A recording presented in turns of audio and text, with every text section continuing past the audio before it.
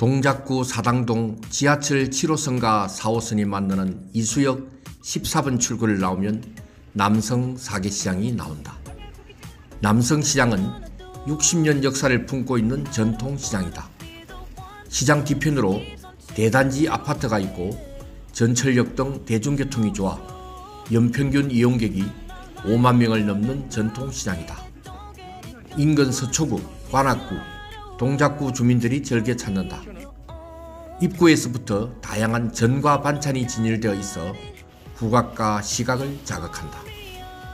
좁은 골목을 사이에 두고 상권이 길게 늘어서 있으며 가게 옆 자투리 공간에는 할머니들의 노점이 손님을 맞는다. 오늘은 마침 정월 대보름이라 오곡밥과 나물 파는 곳이 많다. 나물은 네 가지에 만 원을 조금 넘는다. 어릴 적 대보름날 찰밥에 나물 먹은 추억이 생각난다. 밤, 호두, 땅콩 등 구름도 많이 보인다. 남성시장은 평소에도 다른 시장에 비해 매우 활력이 넘치며 가격도 싸다. 특히 버섯, 채소, 과일들을 매우 싸게 팔아 나도 즐겨 찾아간다. 간 김에 딸이 좋아하는 둥근 어묵도 사본다.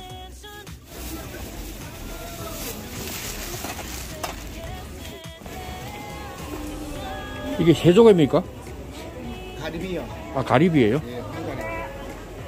어물전도 여러 곳 있는데 싱싱한 해산물을 저렴하게 판매한다.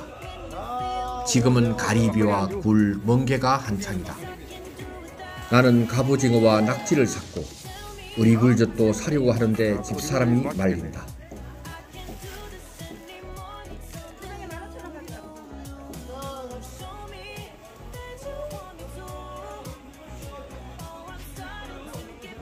싱싱한 과일도 지천으로 늘렸는데 부담 없이 살 수 있다. 튼실한 단감 20개를 만 원에 판다.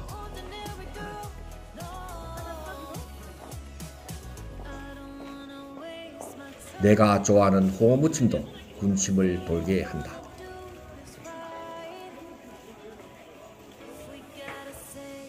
소고기, 돼지고기도 싱싱해 보인다. 한우 불고기 한 그릇에 19,800원이면 싼 거 아닌가? 시장에서 빠질 수 없는 것이 바로 길거리 먹거리들이다. 뻥튀기, 만두, 팥죽, 호떡, 국화빵, 찐빵, 도너츠 등인데 김이 무럭무럭 나고 있어 지나치기 쉽지 않다.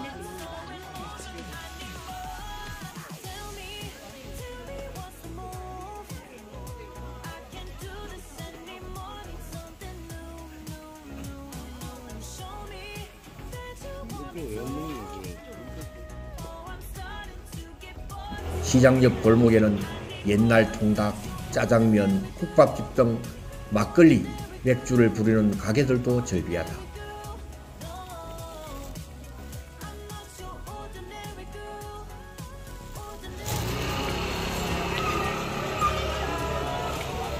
남성시장의 명물 떡갈비이다. 적석에서 굽고 있는 두툼한 떡갈비는 7개에 만원이라 주부들의 발걸음이 끊이지 않는다.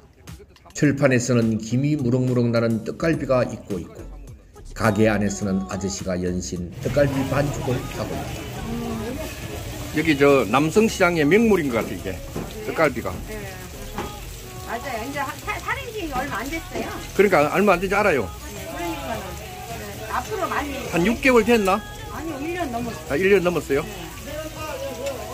저 안에서 만드시는구나 네. 위에서 밑에서 안에서 기계로 갈고 아 기계로 갈아가지고